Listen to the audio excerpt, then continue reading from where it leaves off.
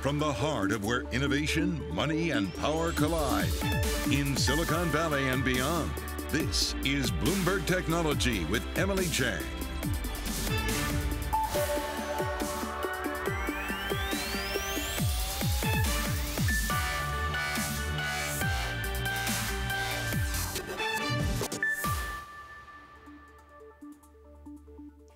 Emily Chang in San Francisco, and this is Bloomberg Technology. President Biden chose Cleveland as the city to deliver a speech on the economy and his proposed $1.9 trillion infrastructure and investment plan. For more on what that plan entails, our audiences across Bloomberg Television and Bloomberg Radio, welcome Gina Raimondo, U.S. Commerce Secretary. Secretary Raimondo, thank you so much for joining us. Uh, President Biden today said his economic plan is working to bring America out of the pandemic, but we need to invest more in education, in infrastructure to stay competitive. What are the musts that you believe need to be included? Yes, thank you. Well, this is about rebuilding for the future. I mean, the president is, of course, right. The rescue package is working. It's it's pulling us out of the pandemic creating a half a million jobs a month, which is a fantastic pace. But we need to prepare for the future. We need to invest in childcare so that people can go back to work. We still have 2 million women who have dropped out of the workforce. We have to make sure every American has access to broadband. The president's calling for historic investments in broadband. It's, it's, it's not okay, it's not acceptable that we still have millions of Americans without access to broadband. We need to invest um, in job training and apprenticeships so people can have the skills they need to get the jobs of today and tomorrow. And we need to invest in manufacturing so that we make critical goods such as semiconductors in America again. So, you know, it, it's not enough to um, pull ourselves out of the pandemic. It's time to rebuild, rebuild our infrastructure, rebuild for the future so Americans can compete and our, and our children have a chance. And yet the counteroffer from Republicans doesn't seem much higher than the original. Where's the progress that you see and how long is it worth continuing the negotiation? Yes, well, I should say, you know, we have to give them credit. I have been involved in these discussions and in these negotiations. They're operating in good faith and they came back to us uh, with a higher number. It is progress. There's no doubt about it, it's progress.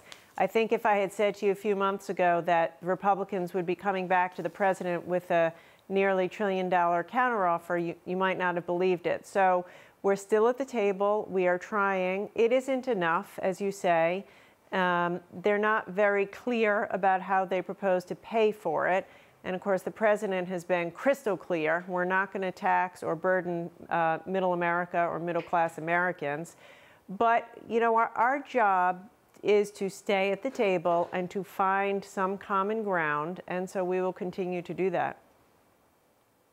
The president talked about how the administration is working to combat supply issues, combat issues with computer chips, as you mentioned, and America can't innovate without chips. You just held a summit with the companies that supply chips and the companies that need chips, from Google to Amazon to car makers. What's the next step here?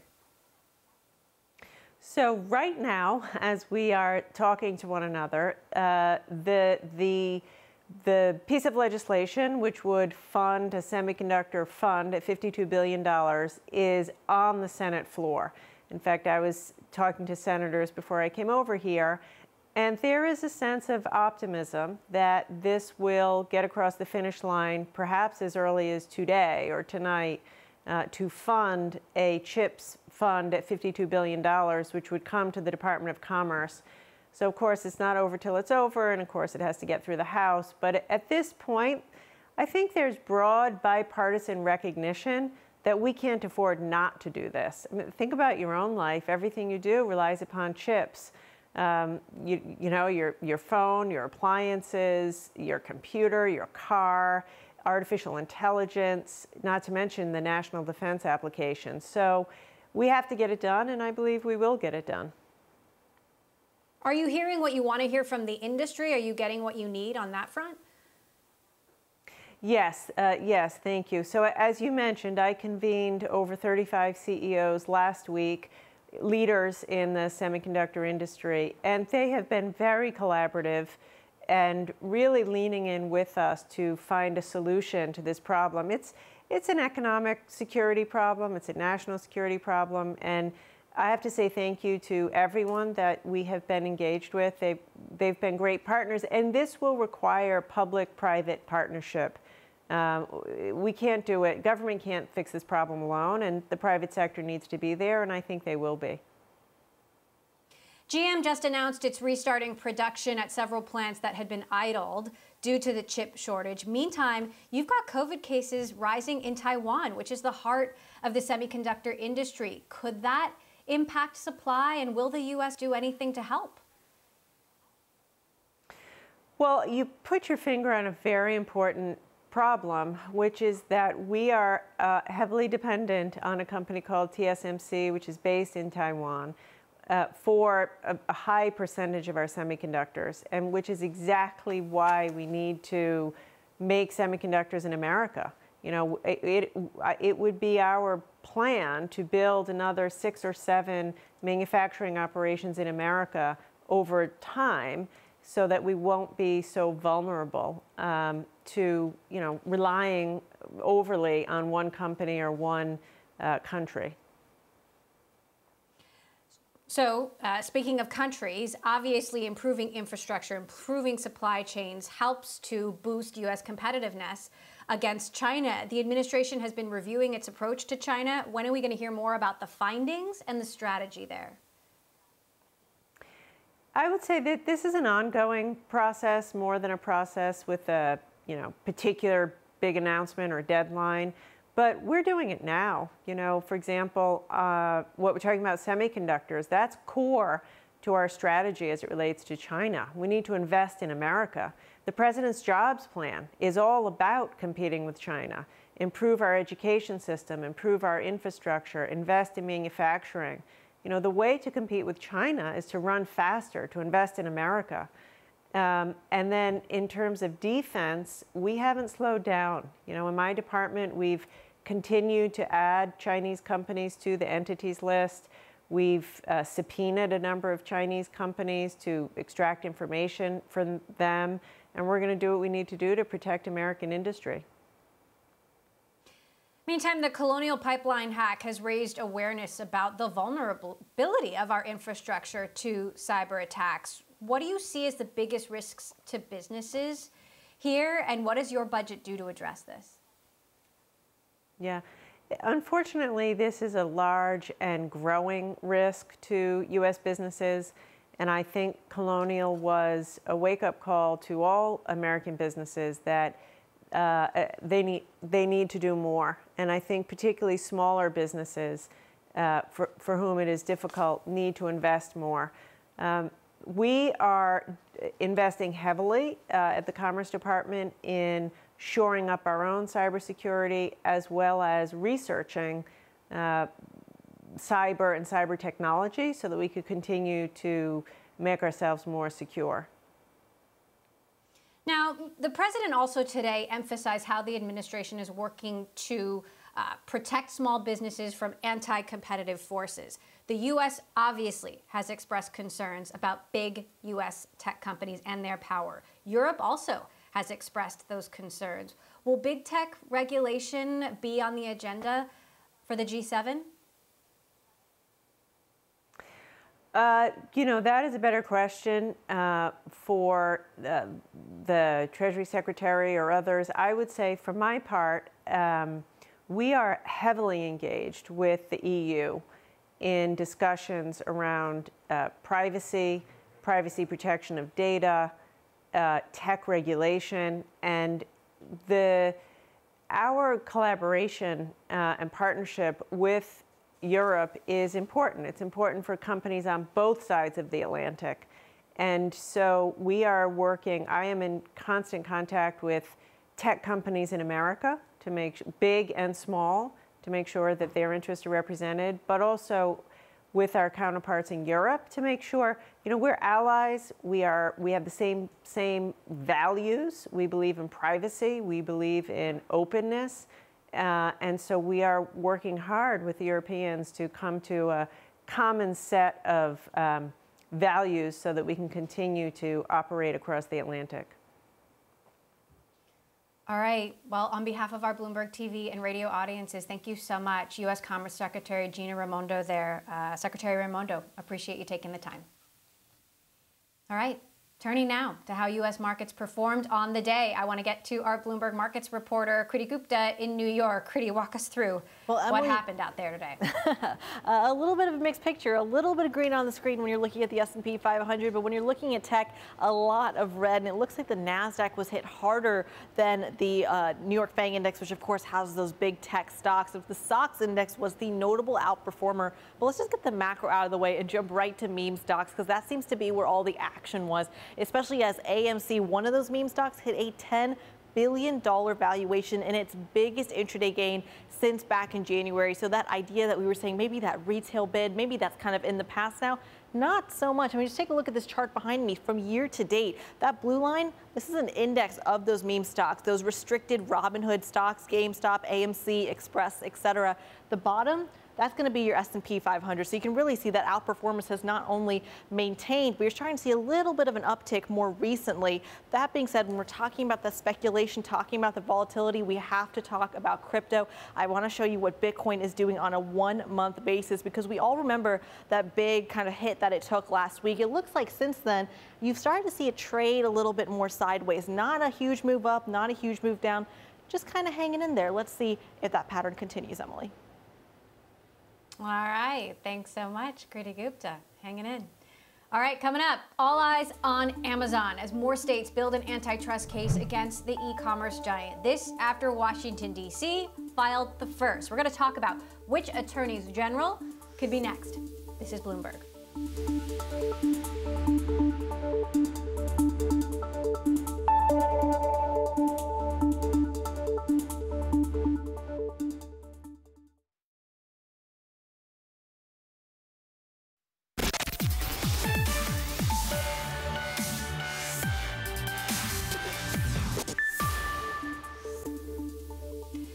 States looking into Amazon is growing as attorneys general work to build a case showing antitrust violations for the e-commerce giant. Bloomberg News' Spencer Soper has more on the mounting state inquiries.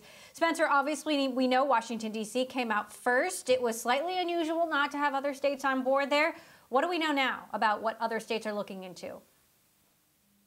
Yes, so now we're just seeing kind of more states join the dog pile. Uh, Massachusetts, Pennsylvania, and even Connecticut all kind of uh, you know looking at, at Amazon in some way or another. I don't have any any indication that they're looking at, at different things. I mean, they, they may choose to break up the investigation differently, but you figure Amazon's practices uh, affect consumers in all states, you know, e- equally.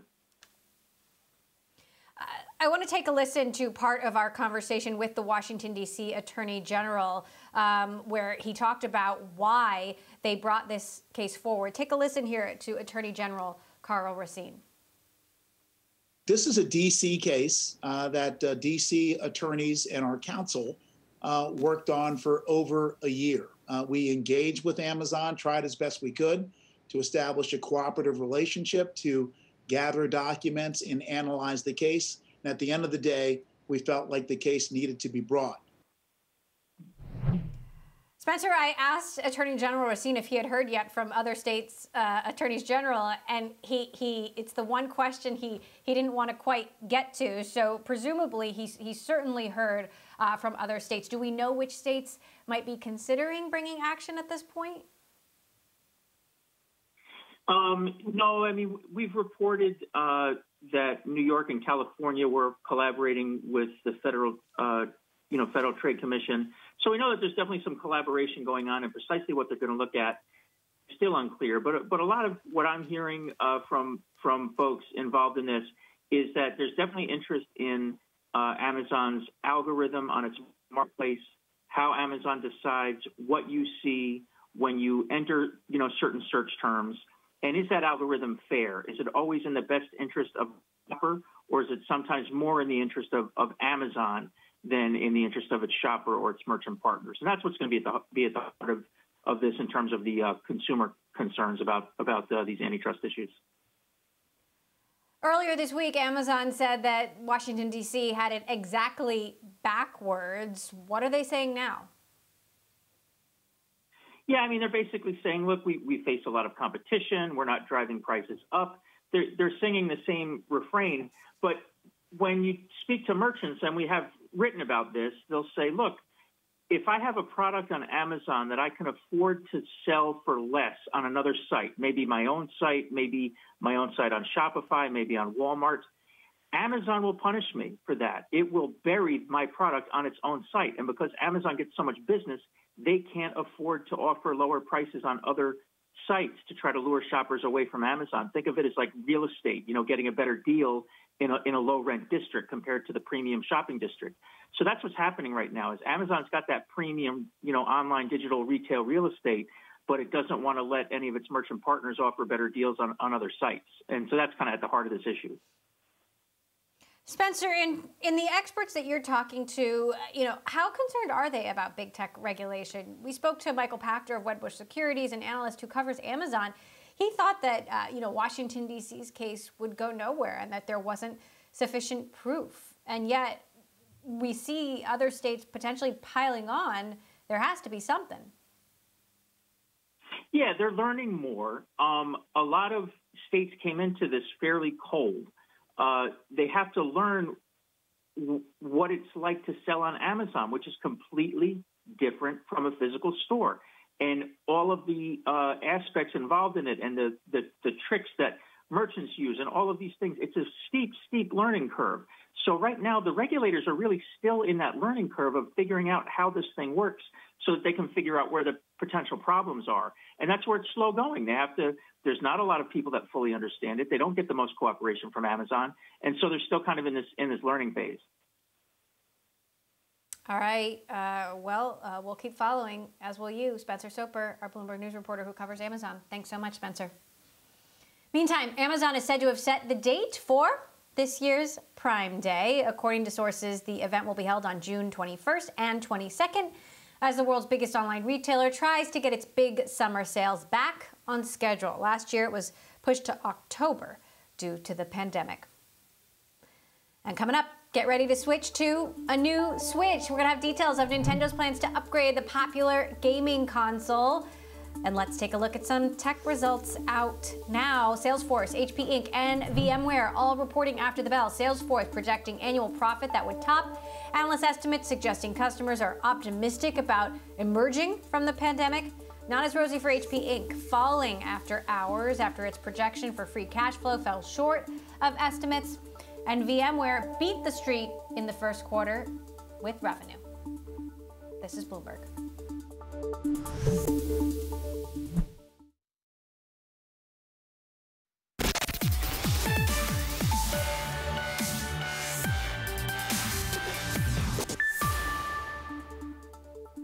Best Buy thinks it can succeed where rival Walmart has failed by asking its store employees to deliver online orders to customers' homes. The move will help the retailer cope with a surge in digital orders, which are often fulfilled through its stores. Let's bring in Bloomberg's Matt Boyle for more. So, Matt, how exactly will this work?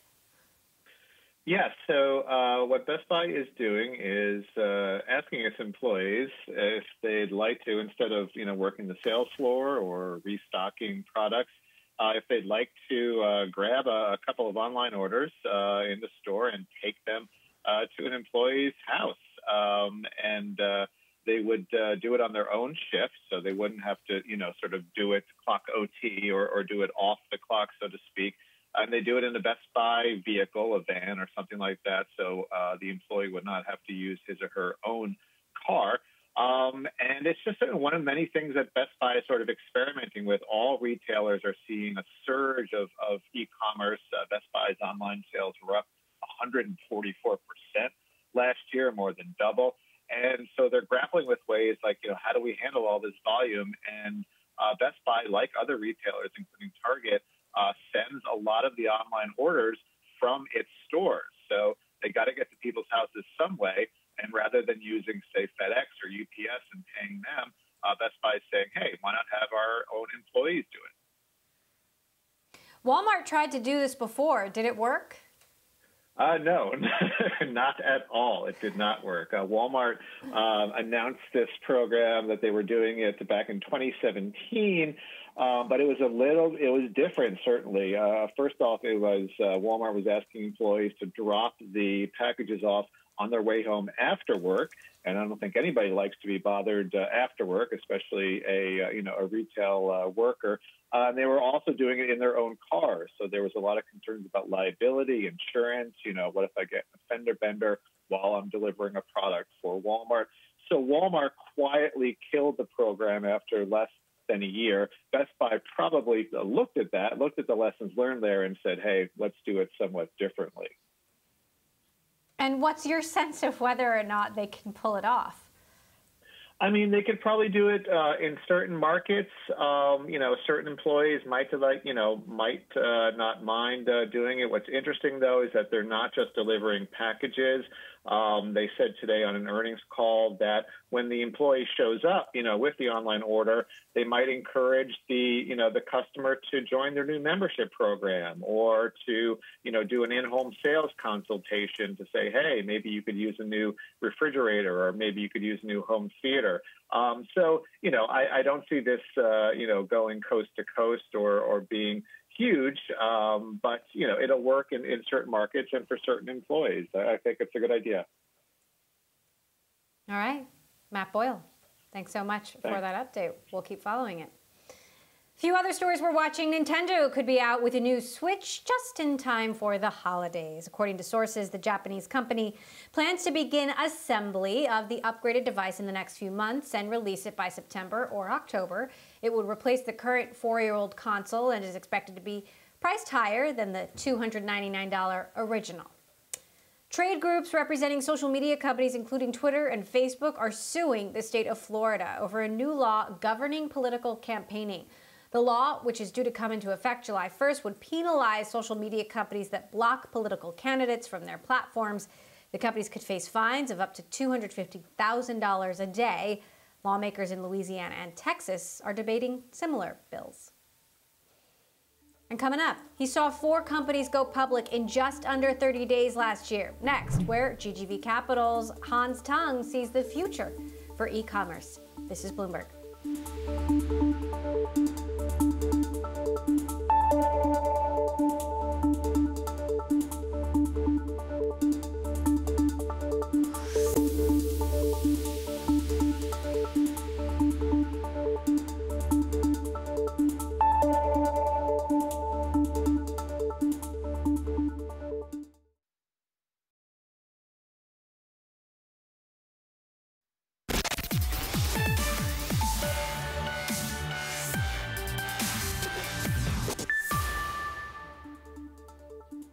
Welcome back to Bloomberg Technology. I'm Emily Chang in San Francisco. Want to get a snapshot now of how the retail sector is doing? Bloomberg Markets reporter Kriti Gupta has more from New York. Kriti, some earnings out after the bell. Absolutely, Emily. We have to talk about the retail earnings coming out because we saw it really explode last week. A lot of that fiscal stimulus money is actually now hitting uh, not only people's pockets, but being spent. And you're seeing this show up in the likes of Costco and Gap as well. Now, don't let the share price fool you after hours because they actually reported some pretty good results. Hear me out here. Costco reporting earnings beating estimates across the board. Top line, bottom line, they had a good quarter. Gap as well, boosting annual sales and profit forecasts, also beating analyst estimates. The stock, though, not doing so well. This is not going to be indicative of what you saw. Intraday trading was very different, had a lot of green on the screen, possibly anticipating some of that good news. I do also want to go to some of the intraday trading, like I just mentioned. Best Buy, Dollar General, both very strong stories. Best Buy in particular boosting their full year sales forecast after soaring revenue. And get this, Emily, introducing plans for e-commerce delivery. This is something that Walmart tried to do, wasn't able to. Best Buy is going to give it a shot, and investors really like that. To the downside, though, we have Dollar Tree sinking after they said that the freight costs were really denting their bottom line. This is, of course, really going to be key because when you have an earnings story that isn't bright and rosy, investors really don't react very well to it, given this kind of environment of stimulus spending, given that environment of extra cash in the system. The last one I want to get to, though, is that e-commerce story because we did have a story out today that that Google and Shopify were partnering to take on Amazon. But let's just take a look at this at a one year chart. You can really see Google has been outperforming Amazon, so has Shopify, and now they're giving Amazon another reason to kind of question some of their e commerce dominance, Emily. All right, Kriti, thanks so much. Our Bloomberg Markets reporter there. Facebook has also been partnering up with Shopify. More on e commerce now. The pandemic has, of course, fueled an e commerce boom across the board with companies like Shopify, Wish, Poshmark rising to challenge established, established behemoths like Amazon. But how long will this pandemic driven e commerce boom last? I want to bring in Hans Tung, managing partner at GGV Capital, who focuses on early stage digital economy companies and currently has over $9 billion in assets under management at GGV. Hans, thanks so much for joining us. Good to have you back. How long do you see this pandemic fueled momentum continuing? Yeah, a lot of people attribute the growth of e-commerce, especially in the U.S., to uh, the pandemic. I think uh, that is partially true, but uh, what we're seeing is that just change of user behavior. More people are used to shop on smartphone, and more people are used to pay on smartphone and the the ease of uh, uh, ordering and then delivering and even returning is making it a lot easier for you to not leave the comfort of your home and be able to get things quickly done efficiently and have uh, things sent to you and things curated for you in a personalized fashion. So whatever you see on the on these uh, mobile shopping apps is increasingly become personalized based on what you have done in the past, what you've purchased in the past, and based on the interest you express. So more and more, there's a way to shop um, via e-commerce that is as good, if not better, than shopping in store. And so we see that post COVID nineteen, post the pandemic, that this e-commerce boom, um, smartphone will continue to rise. But is there a limit to it, Hans? You asked me that question on, um, over the last uh, six, seven years uh, from different shows I'm, I'm, I'm on, and uh, you look at globally, um, e-commerce penetration rate is over 20 percent on some of the large uh, countries already, like uh, for example China, that we we think that there, there there's not going to be limit uh, for a while, um, and the pie is actually getting bigger. So whereas uh, right back in 2013, 2014, when I first appeared on the show, the debate was uh, Walmart taking on um, Amazon, and all the stores will become fulfillment centers, and therefore uh, Amazon going to have uh, have issues. Then becomes eBay trying to be be, be like uh, Amazon, and now you have Facebook and Google trying to partner with Shopify to take on Amazon. I think all, all those efforts, while noble, uh, are missing the point that um, uh, that Amazon has a unique advantage in e-commerce that to beat them, you have to become more verticalized, which is why we invest in Poshmark, which is why you see Etsy doing well, which is why we invest in Peloton. You got to offer different kinds of experience than trying to just be like them. So, what, what's your outlook on some of these more niche e-commerce platforms? And I, you know, obviously, you're also an investor in Wish. The stock there has been struggling, you know, in part probably because of the power, continued power of Amazon. I, think with the companies that are still finding their ways or improving their operation, a lot of the issues are sort of uh, self-inflicted or uh, more based on execution. When when you see uh, well, Etsy's doing that, they're, uh, they they've done well. Um, the stock price has gone up dramatically over the last three four years. You see that there's a way to compete uh, against Amazon do well. You see how Wayfair uh, have done, um, and they have done extremely well. Um, pre and mm, post COVID 19, we're in, this, in, the process of doing so. So there's a way to compete, and we're obviously still bullish on, on, on Wish efforts and uh, uh, StockX um, and Peloton and all the other companies that we're investing in. Now, the popularity of creators and next gen personalities is a huge development in the e commerce market with all of these TikTok stars hawking products and unboxing. Do you see this shifting the e commerce landscape dramatically? I think the creators economy is definitely something interesting. It is more of a buzzword today, but we feel that there's a lot of underlying fundamentals of why it is doing well. Um, you look at a number of monthly active users on Facebook is um, over 3 billion. And uh, YouTube alone, the mon- number of monthly active users is 2 billion on uh, TikTok is uh, over 600 million, and that's not including statistics from China, where Douyin and Kuaishou each has about 700 to 800 million uh, monthly active users. All of them are consuming some form of short form uh, uh, content. And you look at the number of creators out there where people think themselves as influencers, it's only 50 million. And in terms of the number of um, uh, full-time professionals being influencer, as the number is only 2 million. So there's a lot more uh, room for other people to come in to produce content for a lot of eyeballs out there. And in terms of monetization, we have seen all kinds of creative ways beyond just uh, advertising rev share, uh, product placement, um, NFT, non-fungible token sale, um, uh, tipping, um, and, and sponsored content. So there's more ways to monetize if you can produce content that people want. You've had four IPOs in 30 days last year, Hans, uh, Airbnb, um, Affirm among them. Do you see that trend continuing with com portfolio companies taking that big leap? Yeah, more, more companies are, are thinking about their, what is their e-commerce strategy, and even more companies are thinking about what is their fintech strategy to to finance some of those uh, transactions. This is why you see Affirm and Afterpay and Klarna doing well. All of them are in the buy now, pay later uh, uh, category. So you don't even have to pay 100% of what you're going to buy today. It can be monthly installments over time. That's why you see both Peloton and Affirm, both I made investment in, collaborate so well and grow together. And so the uh, addressable market for e-commerce actually gets bigger with innovations on fintech like buy now pay later and you see what square has done with square capital just the, the kind of innovation that's happening kind of fusing fintech um, e-commerce and social is is incredible it's the best we have ever seen that's why you asked me uh, where, where does it stop uh, for the near future or medium future the pie just getting bigger and bigger Let's talk about that pie. You know, you've obviously ByteDance also in your portfolio, looking for a, a potential IPO there. Um, when should we be watching for that to happen, and how big is it going to be? Well, no, no, no, one knows for sure, and you see an announcement that uh, Yiming has, uh, is stepping down end of year, um, and so it uh, it seems that the company is growing uh, nicely, and um, there's no immediate plan for IPO.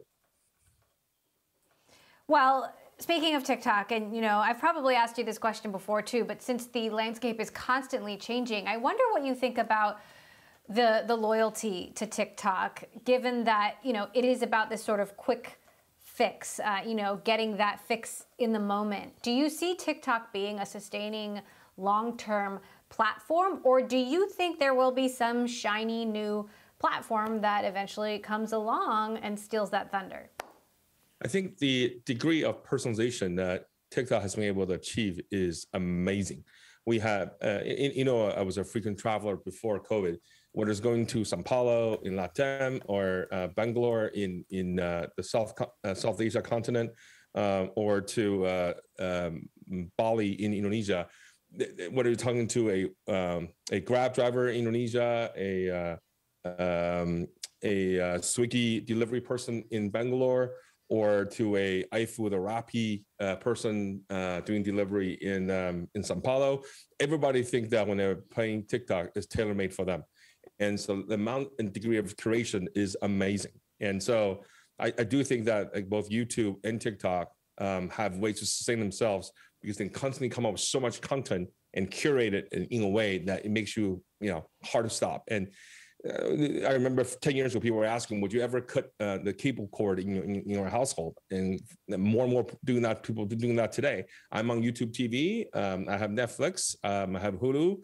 Um, I can watch TikTok in Taiwan on our, uh, on, our TV. The, the need um, for programming, uh, the set programming is a lot less. And the time that's available for that um, curated personalized content is a lot more. And today, more people, more young kids want to be a YouTube influencer or TikTok influencer than you know than a professional job like doctor or, or astronaut. It's it's amazing how even my kids look at me and says, "Huh, and Dad, right. you know, you, you only have fifteen thousand followers on Twitter. What's wrong with you?"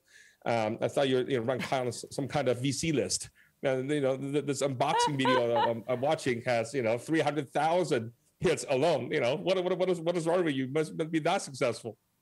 So it is just a different world we live in. Well, Indeed, and well, hopefully some of those young fans and young kids are thinking that they, they would like to travel as exotically as you, thinking about all those places you just mentioned, Hans Tung, GGV Capital, managing partner. Thank you so much for joining us. As always, so good to have you. Okay, coming up, the amount of capital deployed by venture funds continues to grow, but it isn't going to women-led businesses. We're going to talk to AllRaise CEO Pam Kostka about its latest report on the lack of funding for women. Next, this is Bloomberg.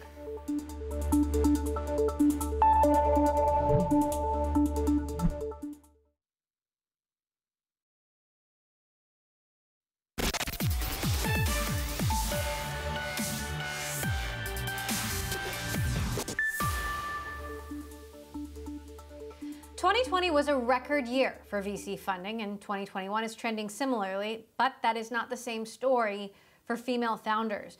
A new report from nonprofit AllRaise found that funding for teams with at least one woman founder fell by 2.5%, and it's even less for Latinx and African American founders. Joining me now to discuss the slow march to gender equality in Silicon Valley is AllRaise CEO Pam Kostka. Pam, thank you so much for joining us. So, talk to me about the most surprising and I suppose unsettling findings in this report. Yeah, um, well, 2020 was an unsettling year across the globe. Um, but it was really unsettling when we dug into the numbers about where female funding is going. And your intro said it all. It's been record deployment of venture capital. And yet there was a significant you know headwind that we that we put ourselves into um, thanks to COVID, where funding to female founders or mixed gender teams fell by two and a half percent, and that's some those are the lowest numbers since 2017. So there was not just a black backslide; there was a significant backslide um, this this past year, and a lot of that we attributed to you know. Um, risk reduction, a lot of people not being able to get out and network directly um, and engage directly with one another. Um, and also just pattern recognition and a fallback to old styles and um, old muscle memory within the industry. And so there's been some progress and forward, you know, there's been some light spots as we head into Q1 um, and, and kind of the second half, the into Q2 this year, but we shouldn't be complacent and think that we're done. So, uh, you know, I guess the big question is why? I mean, you, if you have more money coming in, why not take that risk on women? Why is it still seen to be more risky to invest in women? It's actually not more risky to invest in, in women. Um, the numbers and the economics clearly show that investing in women is a is a, a prosperous and smart decision. Um, for every invested dollar, a woman on average will return two times the amount of revenue that her all male counterpart team might. A woman will exit her company faster. So, really, we have to focus on the fact that there is just bias in the system. And so, we look at a couple of different things to make a change. One is to diversify the venture firms themselves. Um, there are too few female venture capitalists in the ecosystem. It's still dominated by uh, white men. 64% of the venture capital firms don't have a single female partner in their ranks. And so when it comes to analyzing um, opportunities and really attracting the type of talent that they want, their networks are closed networks. So we really need to open up those networks by inviting more women into venture capital um, number one. And number two is to just re- um, reverse bias in our process of how we look at people, but we really um, and, and, evaluate opportunities. But we really see this as a networking opportunity. We certainly know for years um, that the evidence out there is that this is not a pipeline problem, but it's an access problem. And opening up people's networks to female founders and especially underrepresented founders and brokering those introductions is going to be key to unlocking you know the, the potential that is in the market. And the potential is enormous. Um, there's trillions of dollars of value waiting to be mined if we can open up these networks.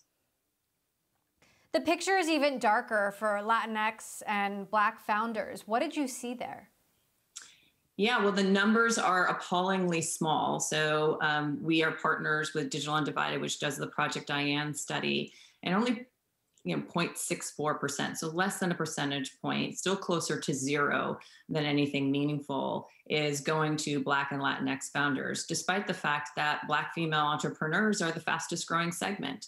And so there's just really not any there's been very minimal movement going forward. I think the industry as a whole though is starting to turn their attention towards looking at black female founders and latinx female founders underrepresented founders in general and creating vehicles and opportunities to meet these founders, to get access to these founders who they haven't traditionally have access to, and actually to deploy capital for them.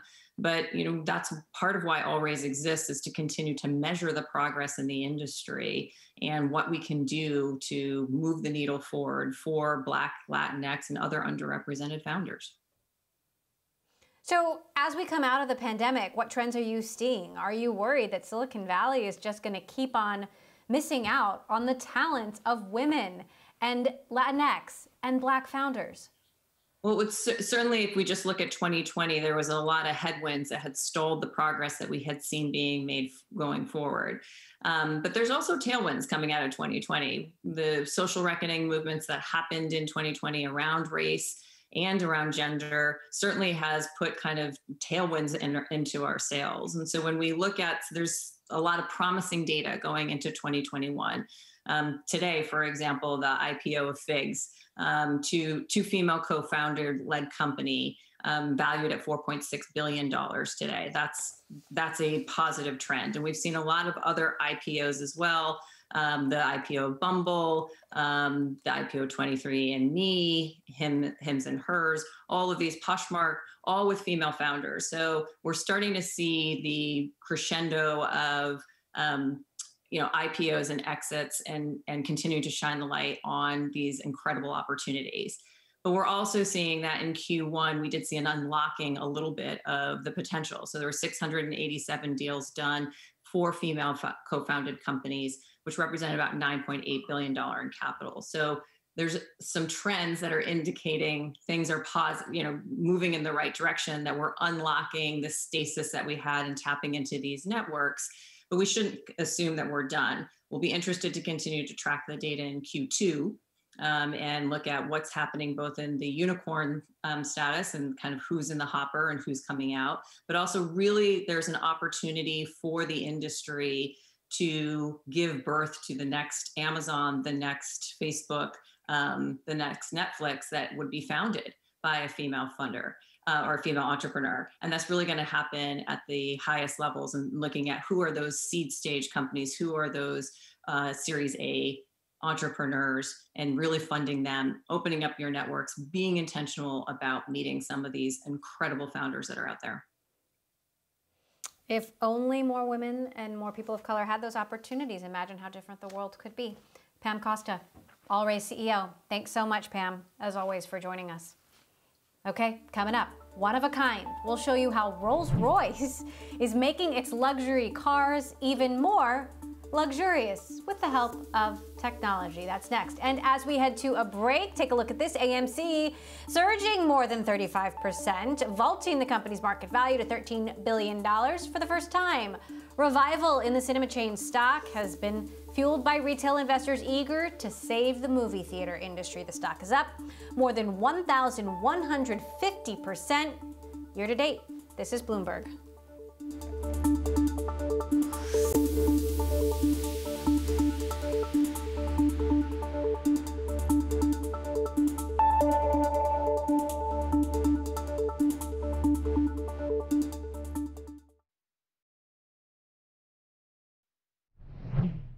Rolls-Royce has announced a new program that will allow its most elite customers to commission a car of their own. So far, the automaker has made three individual custom-built cars. One of them has a yacht-like deck that opens to reveal cocktail tables and a parasol. Earlier, we spoke to the company's CEO, Torsten Müller-Ötvös, about the custom cars, as well as how the global chip shortage has impacted the automaker. We haven't seen anything Obviously, we are part of the BMW Group, and I must say the BMW Group managed that uh, chip topic extremely well due to the fact that they have ordered uh, very early already uh, sufficient amount. And uh, we, as Rolls-Royce Motor Cars, haven't been affected at all because we also set our order books for uh, chips uh, early and ambitious enough to meet the demand which is now happening. You have um, copyrighted Silent Shadow. Um, and now I'm wondering what the transition to EV at Rolls-Royce is going to look like. When are we going to see that car? What is it going to look like? How different will it be to current Rolls-Royces? I mean, um, that is still a secret, time to come. But it will, of course, obviously be a brand new Rolls Royce, rest assured, no worries. But one thing I can tell you, it will not be this car because we agreed with the clients uh, uh, that this is their car and there are only three available of them. And uh, we will not copycat that later into other Rolls Royces or whatever. This is a truly exclusive design and that was meant for the clients. It was even commissioned by the clients themselves together with our uh, designers. So for that reason, that is protected. And uh, the car you are talking about will look different, rest assured. Will it be an electric vehicle? Uh, it will be a vehicle, uh, uh, that's, that's for sure, uh, obviously. And, but I can't tell you more that moment. Just, just one thing, we are sticking to our plans. I said it already. Uh, we will go definitely full electric uh, in this decade and uh, watch the space and see what happens. Rolls-Royce CEO Torsten Müller-Ötvös there. Who doesn't want a cocktail bar in a car? And that does it for this edition of Bloomberg Technology. I'm Emily Chang in San Francisco. Tune in tomorrow. We're going to be joined by Ian Rogers, Chief Experience Officer of Ledger and the CEO of Outschool. This is Bloomberg.